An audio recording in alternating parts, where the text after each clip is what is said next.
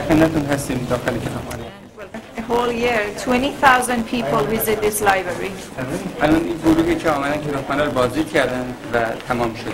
اینها تماما کتاب خطی هست. All of them are handwritten. از هزار سال پیش تا کنون. Uh, since a thousand years ago.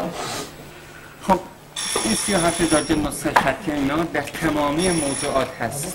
These 37,000 books um, are included um, any kind of subjects.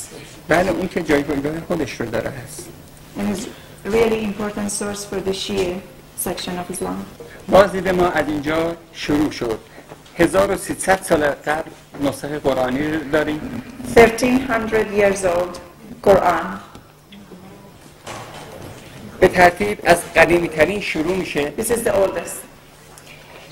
اینها اراد گذاری در قرآن کریم هست بر روی پوست من برای که جالب باشه مهم های اونها رو توضیح خواهم داد این زیباترین نوع خط قرآنی هست the most beautiful Quranic.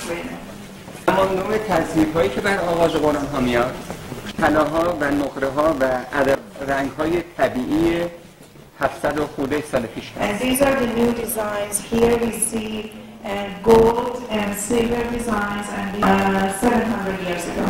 که لذا اولین کار ما فهرست نویسی هست These are all the titles of the books here. نام کتاب نام مؤلف و موضوع The name of the book, name of the uh, author, and the subject of the book.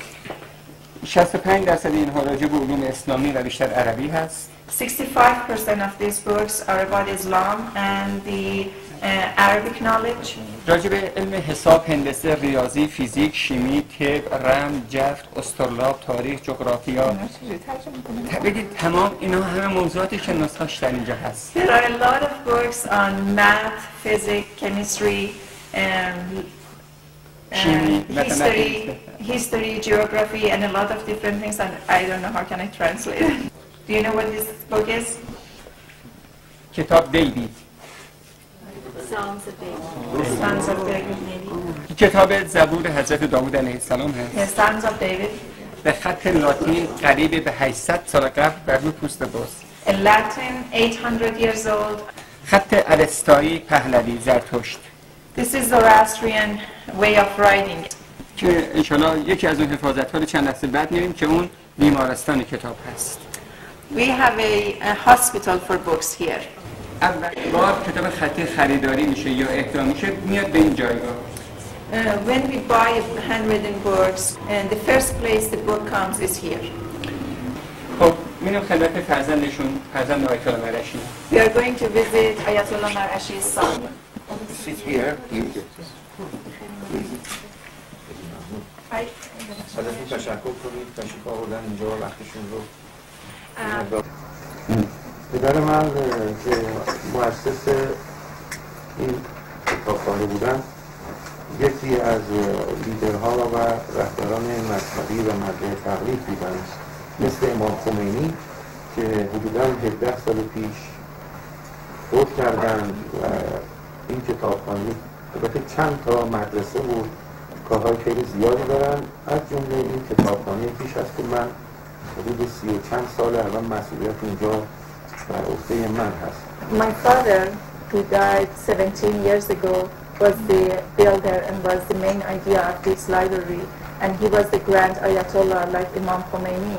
با مدت ها حمام های این شهرها رو با سوزاندن کتاب ها گرم می‌کردن قدیم بولتیشی که نبوده زیر مثلا یه خزانه آب کنده آب میره زیرشو گرم می‌کردن مردم می‌رفتن داخل اون خودشون رو تمیز می‌کردن چه از این کتاب He is telling the story that uh, after Mongols attacked Iran and many other uh, neighbors attacked Iran, for many years there was a public, kind of public bath and they make the water warm with the burning the books نه in those public baths. در اصل باید میدونم وقتتون کم هستش من به همین مقدار اه، بسنده میکنم و شما رو به خدا میسپارم و امیدوارم با خاطرات خوشی از کشور ما مراجعت بفرمایید و امیدواریم که مردم ما با مردم امریکا انشالله بیشتر آشنا بشن و طریق حقایق برن انشاءالله اجازه میکنید که چند تا سوال بکنم بله مسئله این بفرمایید بعد من Um, he just again appreciate that you are here. Thank you very much. And um, I don't want to take your time anymore, but I'm so happy you are here, and I am hopeful that one day our people and the um, American people will be really friends. Thank you very much. Thank you very much indeed. Thank you. Nice you.